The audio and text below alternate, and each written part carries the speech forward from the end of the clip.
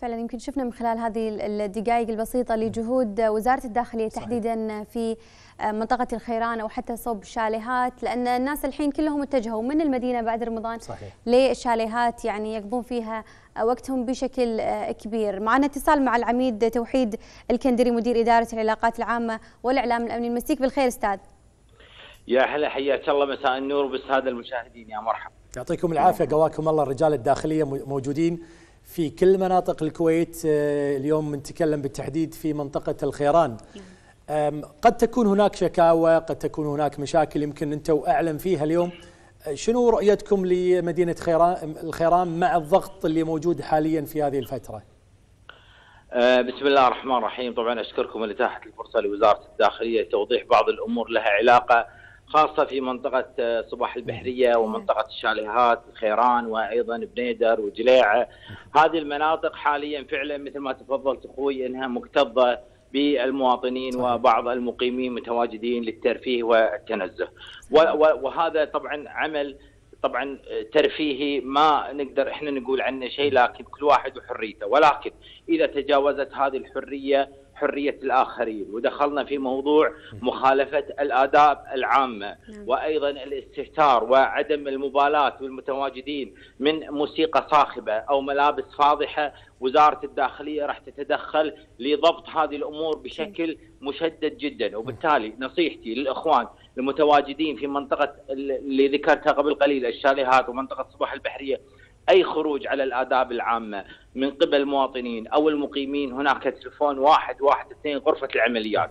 وزارة الداخلية مجندة ومخصصة فرق متخصصة من الإدارة العامة للمرور وأيضا الأمن العام وأيضا النجدة وأيضا الحدود وخفر السواحل وخاصة إخواننا اللي يستعملون الجيت سكي في البحر ويحاول إنه يزعج المواطنين والمرتادين البحر. هناك تعليمات واضحة لمرتادين البحر التقيد بالسلوك العام والآداب العامة حتى ما ندخل في قضية ضبط وإحالة وعمل قضية لأي شخص راح يتنزه في هذا المكان. وبالتالي نصيحتي لإخواننا المتواجدين هناك مثل ما قلت واحد واحد اثنين هذا تليفون العمليات اتصل عند مشاهدة أي مشهد سلبي في هذه المناطق ووزارة الداخلية على أهبة الاستعداد للتدخل بشكل فوري وخاصة أنهم متواجدين في هذه الأنحاء على أهبة الاستعداد. نعم يعطيكم العافية بصراحة يعني على كثر المجهود الكبير اللي قاعد يكون في الديرة صحيح. أيضا في صوب الشاليهات قاعد تقدمون مجهود أكبر وجبار اللي يحفظ أكيد السلامة للجميع. شلون قاعد يتعاملون الأشخاص في الشاليهات في حال توجيهكم لأي تعليمات خاصة؟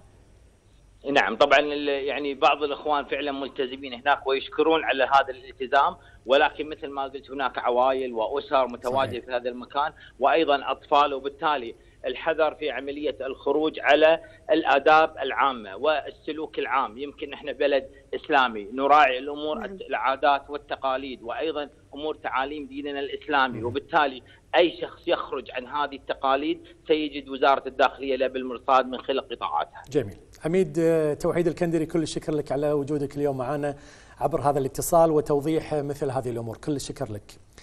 إذا هذه رسالة من وزارة التربية يعني لكل من يتواجد الآن في المنتزهات يجب أن يتقيد بالاشتراطات. دكتور أنت وايد ولهان على المدرسة وزارة الداخلية.